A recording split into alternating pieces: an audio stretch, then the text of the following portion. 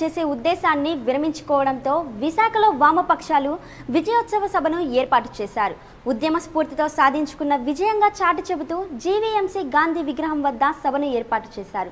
CPM CPI party నేతలతో పాటు Janasena party నేతలు పాల్గొని నాటి ఉద్యమ స్ఫూర్తిని చాటి చెప్పారు.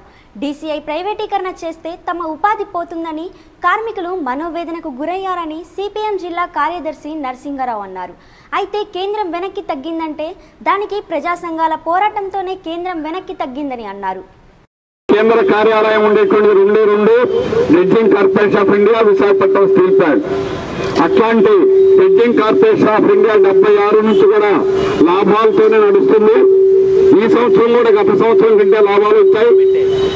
కేవలం ప్రైవేట్ వాళ్ళకి చౌకగా కట్టుబెట్టాలనేటువంటి దురుద్దేశంతో బీజేపీ ప్రభుత్వం బీసీని నూరు శాతం ప్రైవేట్ చేయాలని రెండు వేల పదిహేడు నవంబర్ నాలుగో తేదీ నిర్ణయించింది.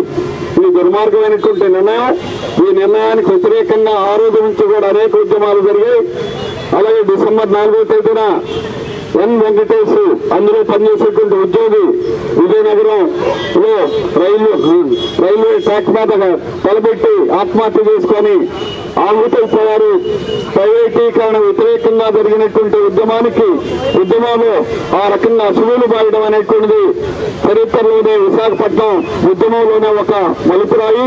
అట్లాంటి ప్రాణత్యాగం చేసినటువంటి ఫలితంగా దాని ఉద్యమం అనేటువంటి మరింత పెద్ద ఎత్తున ఉబ్బుల్లి